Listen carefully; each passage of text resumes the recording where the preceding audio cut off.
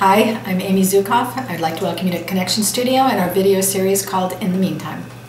Okay, for the first part of our video, we're going to talk about shoulders, um, prolonged positioning, and specifically when you have an issue in your shoulder and you can't get to a professional, which is where you need to be, um, there are things you can do in the meantime to help until you get there.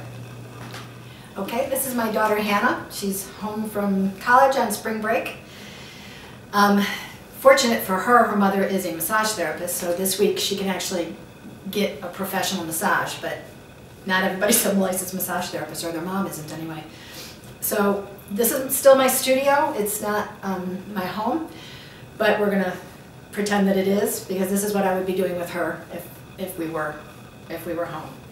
So her issues as a college student, poor posture, stuff, I just have them sit in front of me. Usually the TV will be on because it's my time to be not a massage therapist, but um, generally I just get in and start feeling around to see where the tension is.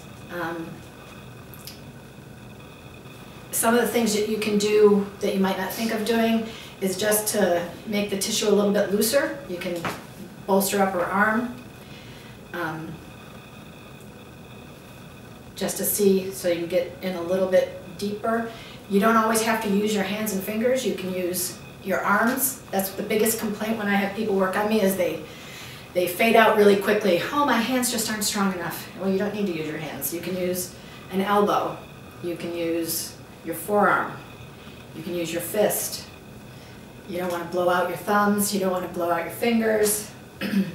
Not that you'd be doing it that often. But those are just some of the things that you can do in the meantime. Thanks again for watching this video. We'll have some more series in the future to help you in the meantime. Please feel free to text, call, or email, or tweet to get an appointment. Love to see you.